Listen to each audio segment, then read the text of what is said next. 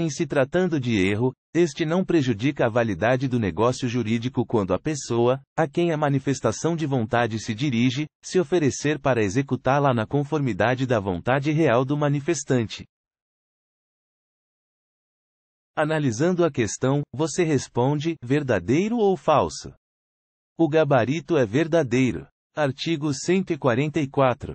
O erro não prejudica a validade do negócio jurídico quando a pessoa, a quem a manifestação de vontade se dirige, se oferecer para executá-la na conformidade da vontade real do manifestante.